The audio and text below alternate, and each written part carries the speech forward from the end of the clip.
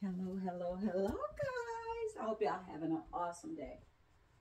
So, I'm feeling like a tangerine, okay? Every time I ring, ding, ding, ding. okay, so let me stop being so silly. I hope y'all having an awesome day. So this is a beautiful, I'm going to get closer. See the fabric? It's like a nice knit fabric, so it's beautiful. So as always, guys, y'all know when I make these dresses, I take a triangle piece. The bigger the breast, the bigger you cut it. This time I sewed up about three inches, so it, it's not so much cleavage, so you can be sexy, but not overly sexy.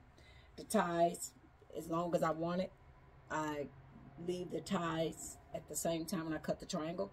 Do my measurements, do a pencil skirt. Stop it right here at the upper thigh then take a circle peplum and put the peplum on the back and I always crisscross it like this in the back. Okay?